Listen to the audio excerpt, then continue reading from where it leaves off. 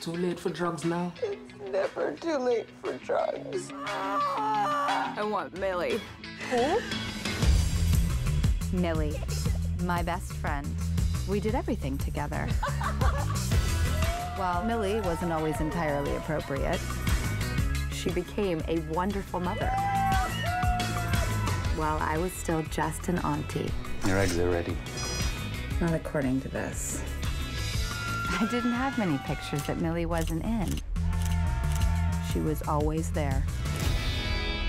I miss you already.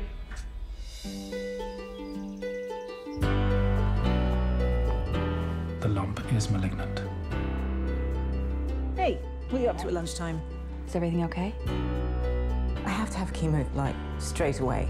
Well, is it contained in my body? Yes. Oh, Jesus.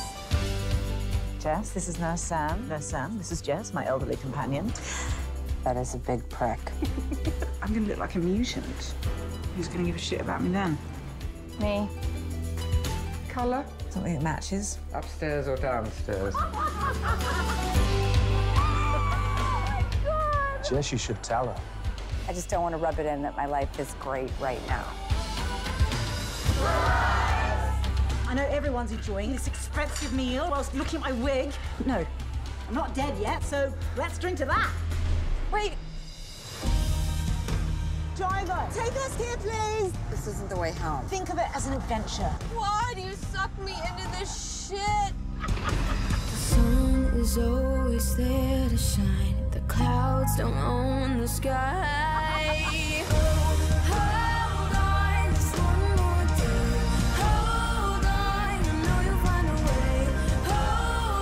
Mum, I'm gonna give you some new bosoms.